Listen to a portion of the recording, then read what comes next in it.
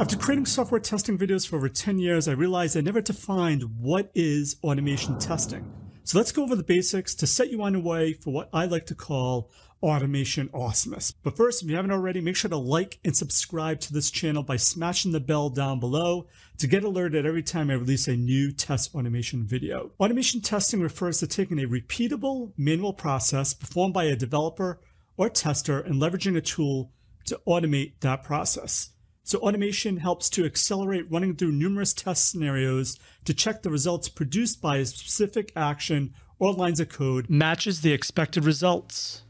If not, it raises an exception and lets you know if something went wrong. So from a developer's perspective, they usually use like an XUnit type testing tool like JUnit or NUnit that they will use to test their code to verify that the results produced by their code is what they expected. Automated unit tests act like a kind of safety net to give a developer some level of confidence that their code change that they merged in the main branch isn't going to break anything. It's not going to break the build and introduce a new bug to the code base.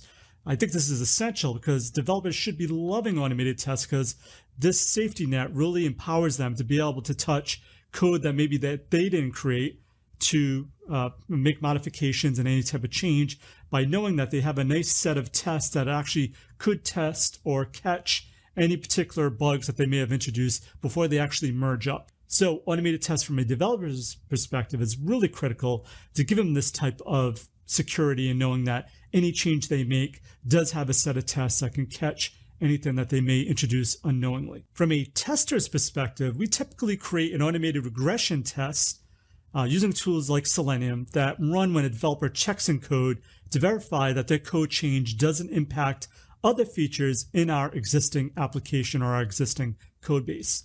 So automated scripts are typically added to our CI/CD pipelines to run on every developer check-in.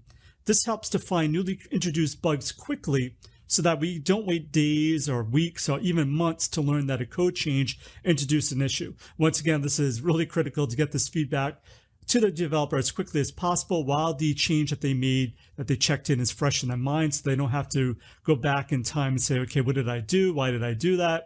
Especially as teams try to shift left and produce software faster and faster to get in the hands of their customers. We really need a strong set of automated test suites that run automatically on every check-in to catch these type of issues. And of course obviously having automated tests is critical because it speeds up the time to test since we're using a scripted process that evaluates if the software developed actually meets our requirements. We call this automated testing because you can easily use your computer to rapidly run through tons of test case test scenarios in minutes. So in the old days or before, a lot of these processes were done manually, and you'll still need to do manual testing. But manual testing slows down the process, especially as we try to do CI CD, continuous delivery.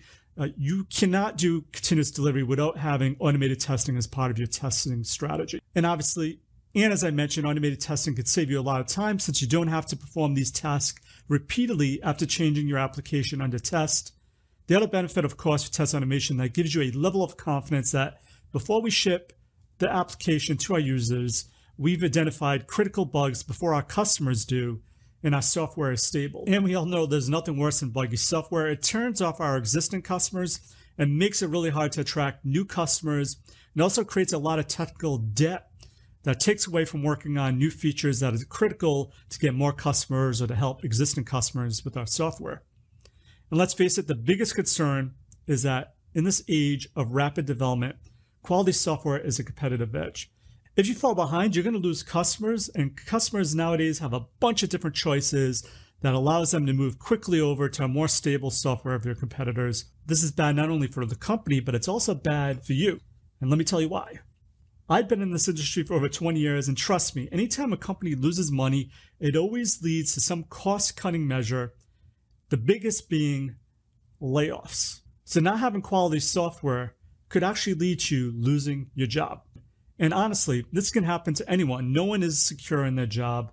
I actually was laid off a year ago from my job. The whole department I found out was let go. And the reason why is the software we were delivering to our customers didn't meet the expectations of our customers. We lost one of our biggest clients. We weren't getting market share.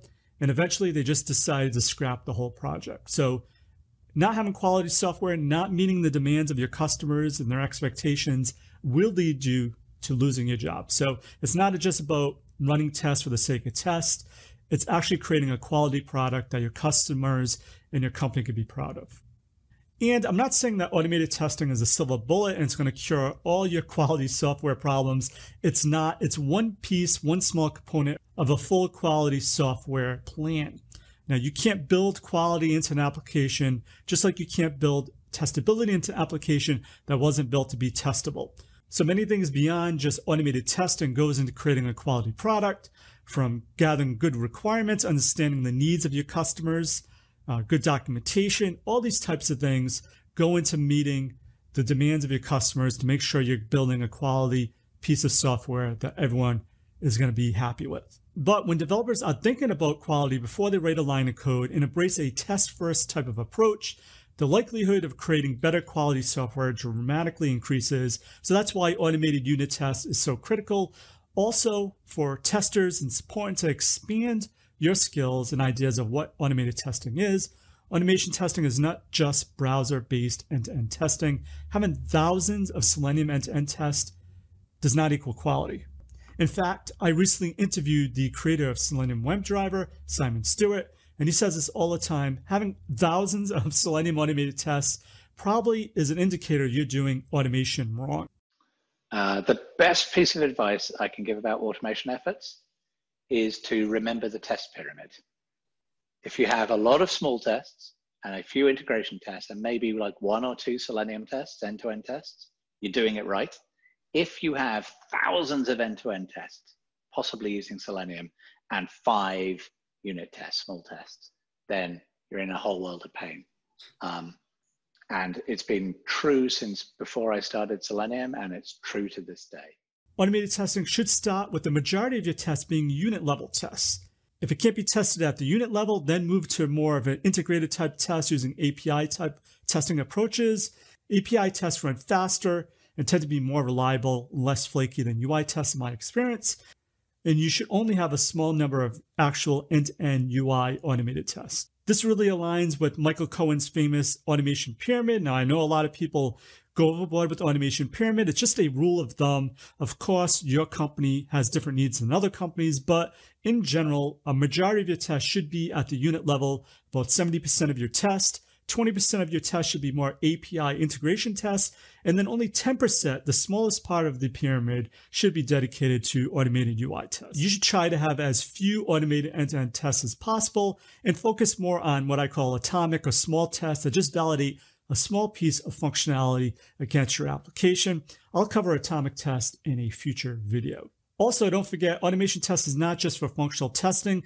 I think a lot of companies, a lot of teams are missing out on the benefits of automation because they're not applying it to other, maybe non-functional type of tests that can help you create quicker, faster quality software uh, helping you automate your, your builds, your environments is critical. You can use automation for that. Also, automation testing could be applied to security testing, accessibility testing, database testing, and performance testing and more. These are all types of things I cover in this channel. So as I mentioned earlier, if you haven't already, make sure to hit the bell, subscribe today to make sure you don't miss any videos I release on any of these topics to help you succeed with your automation testing efforts. So in a nutshell, automation testing is a technique used to improve your execution speed of verification checks or any other repeatable task in your software development lifecycle. Hope this helps and make sure to subscribe, like, leave a comment, let me know what other videos you'd like to see around automation testing in general. As always, test everything and keep the good. Cheers.